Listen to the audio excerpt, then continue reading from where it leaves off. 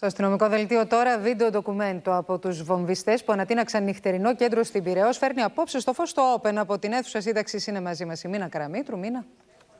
Στο βίντεο λοιπόν που θα δούμε αμέσως φαίνονται ξεκάθαρα οι δύο βομβιστές οι οποίοι φτάνουν με μία μηχανή μεγάλου κυβισμού ε, στην είσοδο του νυχτερινού κέντρου στην οδό Πυραιός. Τους καταγράφει η κάμερα ασφαλείας από ένα κατάστημα που βρίσκεται ακριβώς απέναντι. Κατεβαίνει ο συνοδηγός, αφήνει τον εκρηκτικό μηχανισμό, 5 κιλά δυναμίτη με βραδύ καυστοπιτήλι. Αμέσως μετά ανεβαίνει επάνω στη μηχανή και εξαφανίζεται. Λίγη ώρα αργότερα γίνεται η έκρηξη. Βλέπουμε αυτή τη στιγμή. Μάλιστα, όπως μπορείτε να δείτε και εσείς, Νίκη, δεν έχει σταματήσει η κυκλοφορία στην οδό Πυραιό.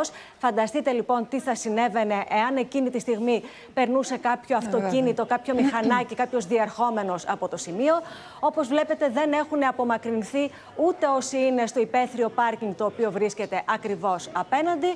Και λίγη ώρα αργότερα φτάνουν οι πρώτοι αστυνομικοί και αμέσως αρχίζουν τις έρευνες. Να σας πω ότι ευτυχώς το νυχτερινό κέντρο ήταν υπό ανακαίνιση ε, την περίοδο εκείνη και γι' αυτό ήταν κλειστό. Παρ' όλα αυτά όμως, σας ξαναλέω, δείτε την εικόνα και φανταστείτε τι θα συνέβαινε αν περνούσε, ναι, αν ε, περνούσε κάποιος εκείνη την ώρα από εκεί. Έχεις απόλυτο δίκιο. Είχαμε μία ανάληψη ευθύνης προήμερων. Ε, η αστυνομία πώς το διαχειρίζεται αυτό σε επίπεδο ερευνών; Ναι, ε, την υπόθεση αρχικά είχε αναλάβει το τμήμα εκβιαστών της ασφάλειας Αττικής. Παρ' όλα αυτά, δύο ημέρες αργότερα υπήρξε μία ύποπτη, αν μου επιτρέπετε την έκφραση, ανάληψη ευθύνη σε γνωστό site του αντιεξουσιαστικού χώρου. Η συγκεκριμένη αυτή ομάδα θέλω να σας πω ότι έχει αναλάβει και διάφορα άλλα περιστατικά ως ανάληψη ευθύνης, περιστατικά όμως τα οποία δεν έχουν συμβεί ποτέ.